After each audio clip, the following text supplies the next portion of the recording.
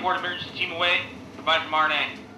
The inport emergency team aboard USS Defender, forward deployed to Fleet Activity Sasebo, is a vital key in making sure that the ship stays safe if a fire or flood would occur while they are in port. Uh, if we can't put out a fire in a timely fashion, being on a wood ship, the ship can burn to the ground in, in literally 12 minutes if we can't combat the fire effectively. For Petty Officer Kyle Jacobs, being the team leader is a rewarding experience.